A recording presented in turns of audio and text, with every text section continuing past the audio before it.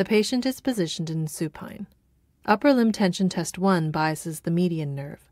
The therapist takes the patient's upper limb through the following movements shoulder girdle depression, shoulder abduction to 110 degrees, shoulder external rotation with the elbow at 90 degrees, forearm supination, wrist and finger extension, and finally elbow extension until symptoms are provoked.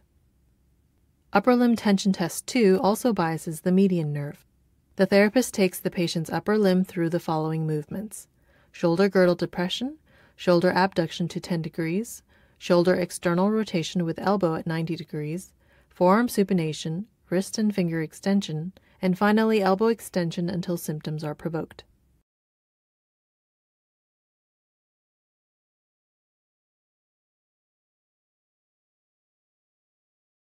Upper limb tension test 3 biases the radial nerve. The therapist takes the patient's upper limb through the following movements shoulder girdle depression, shoulder abduction to 20 to 30 degrees, shoulder internal rotation with elbow at 90 degrees, forearm pronation, wrist, finger, and thumb flexion, and finally elbow extension until symptoms are provoked.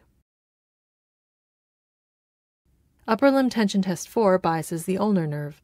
The therapist takes the patient's upper limb through the following movements shoulder girdle depression, shoulder abduction 110 degrees, shoulder external rotation with elbow at 90 degrees, forearm pronation, wrist and finger extension, and finally elbow flexion until symptoms are provoked.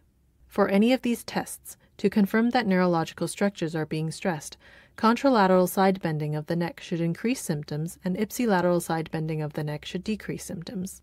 A test is considered positive if it reproduces the patient's symptoms or if there is a significant difference in mobility from side to side.